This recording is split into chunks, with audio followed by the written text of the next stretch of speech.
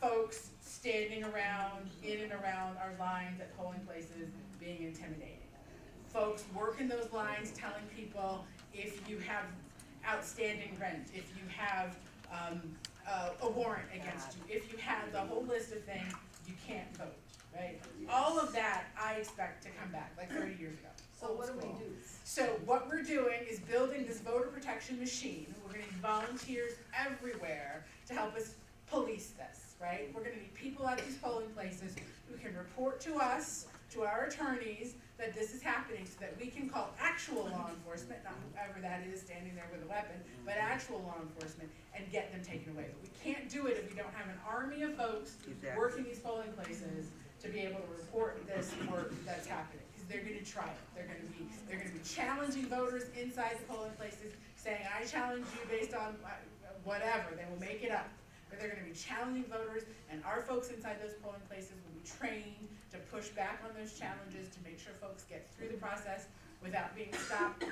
I have to tell you, if somebody standing there challenged me, and I didn't know better, sure, I'd be like, oh, I guess I can't vote right? Which is why it's so important that our folks are in those rooms saying, nope, that's not true. I mean, I had a story, heard a story the other day of someone who was coming in to register, first day, first time registering, same day registration now. And the volunteer there said, he said, I can't register here, I'm registered wherever mom and dad are. She said, yes, you can register here. Someone behind the table said, no, you've gotta have a consent from your parents to do that. Mm-hmm. That's not a thing. That's not a thing, right? So then, you know, the voter protection volunteers like, no, that's not true, son, you can actually, so we need folks in those precincts. So we've got an aggressive team that's being put together, we're gonna need lots of volunteers to do this sort of work in these polling places to make sure that we're protecting the vote.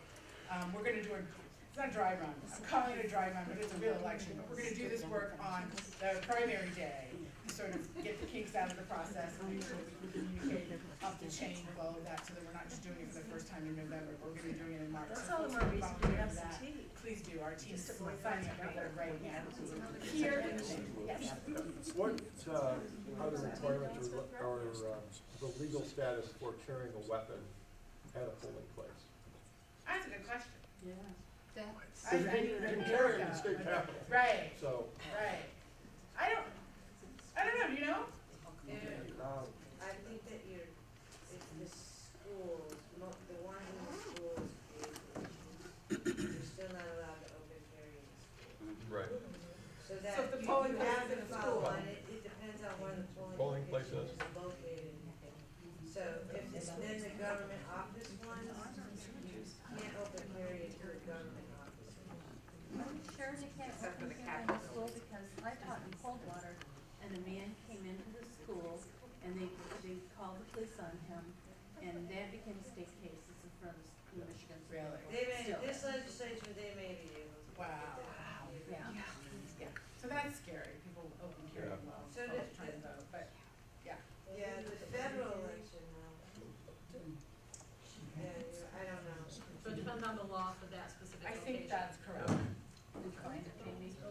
All right, I saw another hand, yes, Um, uh, in regards to the suppression, but we're also working on, uh, making voting, uh, more accessible from that standpoint. So we've been working with the county clerk here, uh, to try and get, um, absentee ballot drop boxes Oh, in places where, you know, what we noticed when we were knocking doors in Muskegon Heights, where there were like old or disabled folks who hadn't sent out their ballots because they didn't have the stamp. So we would keep a roll of stamps in our back pockets just to, you know, tell them, put them out for the postman. But what we're trying to do now is just get, you know, because the city clerks do have the discretion to have, you know, drop boxes if they want. Just so you know, and I wanted to say that here, because anybody who's, um, working with their, uh, city clerks, whether it's township or anyone, we're getting a little bit of pushback from the city clerks. They perceive this will be more work for them, you know, and there's all these other issues, you know, that, you know, when you present something new, people initially, so we're doing it soft, but we do wanna get it done before the primary, and we do have even funding for the, um, for these drop boxes. So if anyone here who has access or is in dialogue with their city township clerks, please, you know, if you can, recommend that it would probably be a good idea. We had designated some places like elderly towers, handicap places, places where people have mobility issues. And, uh, on top of that, we're also going through a transportation change in the city where they're, uh, talking about eliminating some corridors, um, where low-income people are. For instance, we have a, a Peck, on Peck Street, we have two of the Muskegon Height polling places, and they wanna eliminate, you know, half of that, that, that route there, so on many levels. Really? Yeah, on many levels, we're trying to keep them from suppressing the vote, but we're also trying to make voting easier. So we're working that hard and heavy, but, you know, the clock is ticking, and if anyone talks with their city clerks or the town, or wherever you are, you know, be vocal about, you know, sure would be nice to have an absentee ballot box somewhere, you know, so that they know it's not just us out there pushing it, It's so. a great idea. That, I think the ballot boxes are so smart, cause that's so much easier than A, having to figure out how to stamp and mail. Right, And you don't have to wait for the office to be open. If you need to drop it when the office is closed, you can drop it. when that's right, It's very smart. right, so we're, that's, that's a work in progress, And okay. Sort of a vague memory leading through the SD ballot, that if you call the city clerk, they have to come and oh, pick it up. So oh, that, you wanna double check that, That's good information. but that, that's why I brought it up, because I think they are, they are obligated to come and pick it up if you call them. Well, that's persuasive right there, you know, if they have a, a different place to, you know. Yeah. Right, okay.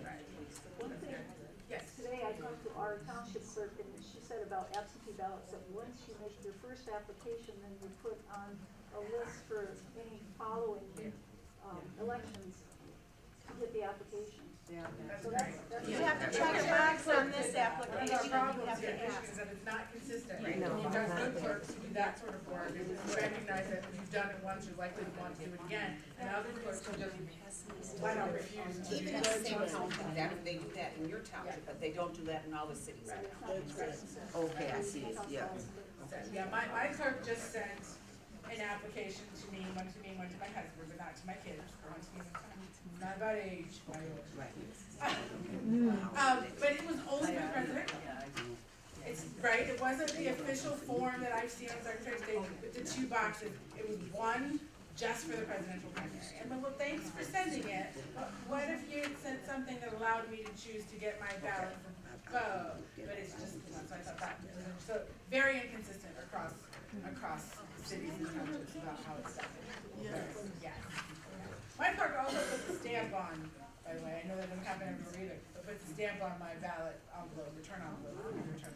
Right, but it doesn't happen everywhere, so it's, it's, yes. Yes, I got a question. Sure. I wanna go back to social media. okay, Um, my concern is the, um, the hearts and minds.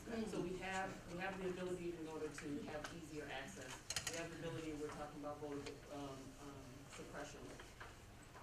But my concern is, um, what do we have to educate our people about identifying and knowing, um, when it is fake news, really fake news?